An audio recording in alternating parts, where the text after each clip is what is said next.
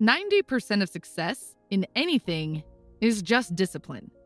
We spend years in school but don't learn much about it. Here are seven stoic lessons to help you build strong self discipline and emotional control.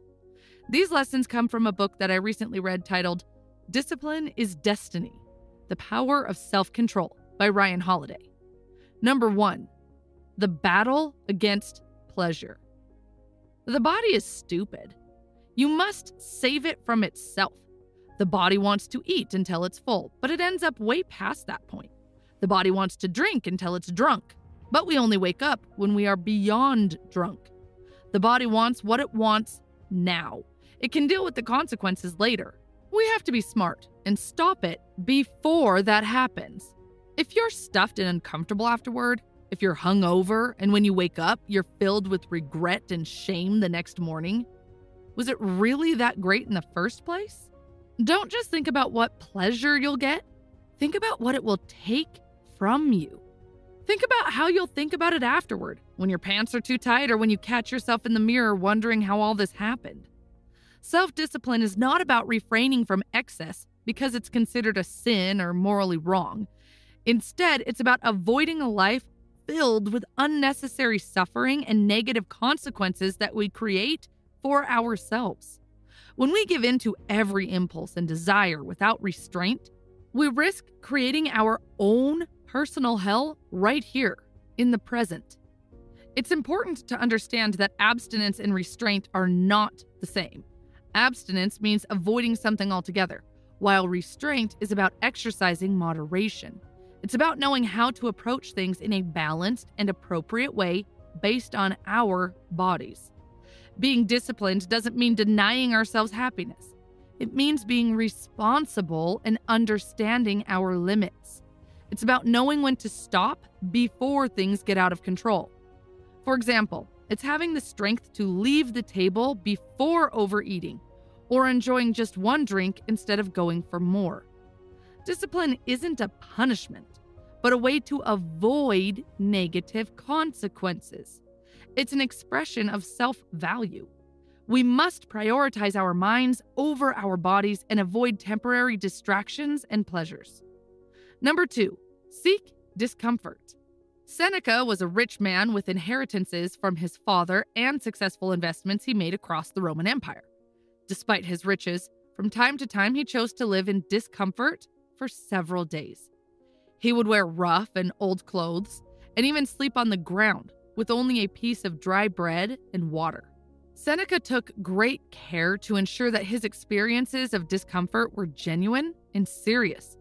When advising a friend to try this voluntary discomfort, he emphasized the importance of eating hard bread and sleeping on a hard piece of wood to make the experience authentic and not just an amusement. Now, why did Seneca do this? Seneca knew that most of his fellow citizens, without complaint, lived in the same circumstances that he was voluntarily living in for a few days. And this was the point. By intentionally subjecting himself to these conditions, he sought to prove that enduring such challenges was possible and actually typical for many of his fellow citizens. Many of Seneca's wealthy friends were terrified of living in such conditions, which made them anxious and risk averse. By facing these hardships voluntarily, Seneca would say to himself, Is this what you are afraid of? Going through this voluntary hardship helped Seneca build perspective and resilience, enabling him to face adversity with greater strength. Ultimately, this practice even saved his life when the Emperor Nero became unstable. Seneca offered all his wealth for his freedom. Nero was shocked and he couldn't believe someone would give it all up. In contrast to Seneca's approach, many of us avoid anything uncomfortable. We believe that success means never struggling and always having what we want at our fingertips. Why be cold when we can turn on the AC? Why carry heavy things when someone else can do it for us? Why walk when we can drive? We don't realize how dependent this makes us. It spoils us and creates perfect conditions for failure. It also makes us fearful. We get addicted to our comforts and then we fear losing them. But some people value discomfort. They challenge themselves by running marathons, sleeping on the ground, lifting heavy things, or enduring manual labor. Seeking pain toughens us up and makes us less afraid of challenges. Self discipline starts with our bodies, but it does not happen automatically. We must expose ourselves to challenges because life will bring severe discomfort someday. We must be prepared. Those who can handle tough times and accept the change are harder to defeat and happier overall. We should be moderate now when times are good, because good times never last forever. Number three, quit being a slave. Dwight Eisenhower achieved great things in his life. He fought in battles, defeated the Nazis, occupied Germany, wrote his memoirs, and became rich. But in 1949, Eisenhower faced a new challenge conquering himself. He had a habit of smoking three to four packs of cigarettes daily for 38 years, and he knew it was time to quit. Although it may not seem like a big deal compared to his other accomplishments, anyone who has struggled with addiction knows how tough it can be. But Eisenhower had incredible willpower. He decided to quit smoking cold turkey. He said, The only way to stop is to stop. And he never touched a cigarette again. No one forced him to quit. It was his personal decision. He believed it was his duty to take care of his body and protect his health. By conquering this inner demon, he added years to his life. With a strong and healthy body, he could continue to serve the world. He led NATO and eventually became the President of the United States during a challenging time. In today's world, we can get hooked on various things like cigarettes, soda, TikTok, Instagram, or playing video games. It doesn't matter if these habits are considered acceptable or not. What's important is whether they are good for us. Just like Eisenhower's smoking habit was harming him slowly, Many of our habits might be doing the same without us realizing it. But even if they don't harm us, why should we let these habits control us? Why should we take orders from our belly? We should be the boss. Neither the body nor the habit can be the boss. Slavery was a deeply inefficient economic system, besides its misery and cruelty. Why would you choose to be a slave to your habits? Here's a simple test if these things were introduced to you today, knowing all the risks and consequences, would you still start using them? Would you still smoke, drink, or pursue a lifestyle if you knew it would lead to unhappiness in the long run? Just because you started in the past doesn't mean you must continue now. You have the power to choose differently. No matter how powerful you are, there might be some bad habits you're struggling with right now. But the good news is, it's never too late to beat them. Take inspiration from Eisenhower, who quit smoking at the age of 58. What counts is not how long you've had the habit, but what you choose to do about it today. Choose to stop now. Choose to stop being a slave. Number four, avoid the extra. Cato the Elder was known for his remarkable frugality. He lived a simple and humble life, never wearing expensive garments or spending extravagantly. He would drink the same wine as his slaves and often worked alongside them in the fields. Cato's philosophy of minimalism extended to his home as well. He lived in a modest house, taking inspiration from his hero, Manius Curius. When emissaries were sent to bribe Curius during the height of his power, they found him in his kitchen boiling turnips. His simple lifestyle showed them he didn't care about getting rich. He couldn't be bought with money. Similarly, when Cato was offered expensive gifts or rewards for his political work, he declined them because when we desire more than we need, we make ourselves vulnerable. Being a little hard on ourselves makes it harder for others to be hard on us. Being strict with ourselves takes away others' power over us. Another excellent example of the power of simplicity can be seen in the boxer Rubin Carter. During his unjust imprisonment, he deliberately lived with very few comforts. He didn't have luxuries like pillows, radio, rugs, or TV, which made it difficult for the guards to have any leverage over him. By depriving himself of these amenities, Carter asserted control over his own life and became less vulnerable to manipulation. It can seem like the life of Cato or Rubin Carter is difficult, but in many ways it's easier, less to worry about, fewer rings to kiss. No one is having less fun than a person with debtors at their door, or a person who is forced to keep working harder and harder to maintain his luxury lifestyle. In our modern world, we often find ourselves surrounded by temptations and the pressure to own more and more. Advertisements and social influences on us can make us believe that we need certain things to be happy. Ask yourself Haven't I and humanity survived quite a long time without this? How long did the happiness last the last time you bought the thing you craved for? This new thing you crave will not make you happier either, because the last one didn't. If you need proof, go check your wardrobe. Think about how happy and content you were with less just a few years ago. Do you look back at those younger years and feel bad for having less? Probably not. Those were the happy days. You almost miss them now. Things were simpler and cleaner. Here's a powerful secret the less you desire, the richer, freer, and more powerful you become. It's that simple. Number five, slow down to go faster. Octavian became Julius Caesar's heir when he was only 18. A year later, he promised Rome's leaders at the Forum that he would reach the same heights as his adoptive father. Despite his ambitious plans, he didn't hurry. Instead, he took a slow and careful approach, learning from his Stoic teachers Athenodorus and Arius Didymus. Octavian co ruled with Mark Antony for a decade and then led the Senate for almost five years before finally becoming Augustus Caesar in 27 BC.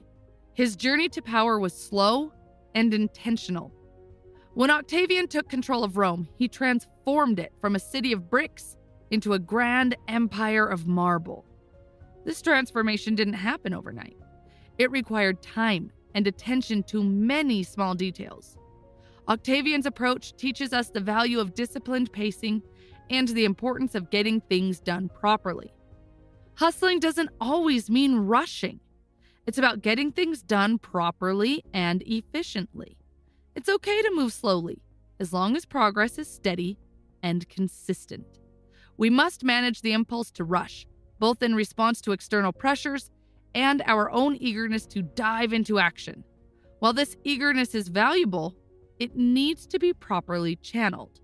If not managed well, it will quickly turn from an asset into a liability. Number six, the difficult life is the best life. King George IV was famous for his love of food. He would have a massive breakfast with pigeons, steaks, wine, and brandy. Over time, he got so fat that he was afraid he might not be able to breathe if he lay down to sleep. Even signing documents became a challenge, and he had a stamp made for his signature so that he didn't have to move much. Despite his responsibilities as a king, he ignored his duties and fathered several children outside of his marriage. He seemed to believe that he was above the rules of health and mortality. He thought his body could endure endless abuse without consequences. However, his careless lifestyle caught up with him, and on a summer night in 1830, at 3:30 a.m., he faced his death. He was surprised to realize that he was dying and shouted, Good God, what is this? Recognizing it was death, he grabbed the young servant's hand and said, My boy, this is death. It was as if he was shocked to find out that his poor health habits had finally led to his death. Compared to King George's self destructive lifestyle, let's turn to the inspiring example of President Theodore Roosevelt. Once, Theodore told his father not to scold him or he would have asthma. And on many nights, he did. Despite being born weak and facing health issues like asthma and poor eyesight, he chose a different path.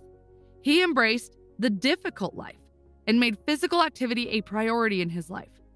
Encouraged by his father, he engaged in various physical activities like rowing, boxing, wrestling, hiking, and football. He believed in pushing himself to be active and energized throughout his life. Even when he became the president, he continued his commitment to exercise, making time for a couple of hours of daily physical activity. A couple of hours each day as the president. Who do you think felt better when they woke up in the morning? The lazy King George or Roosevelt? Roosevelt's example is a powerful reminder that being active and embracing the tough life can lead to achieving great things. We are meant for more than just existing and looking for pleasure. Nature has given us amazing gifts. We are incredibly evolved beings at the top of the food chain. Will you let your abilities waste away? Today, many young Americans can't join the military because of health or fitness issues. Being careless with our bodies is not a joke, it's a matter of national security. If we want to be great and productive members of society, we must take care of our bodies. It's not just about the gym, it's also about what we eat and avoiding harmful substances. Our bodies are like high end race cars, and we need to fuel them properly. Life is full of problems and tough situations. Sometimes our work might not go as planned, and we might face difficulties. However, when it comes to exercising, we have the power to control it. We can choose different activities like swimming, weightlifting, jujitsu, or long walks, but the key is to be active. Self discipline is not about saying no to pleasure. Pleasure is the reward for our efforts.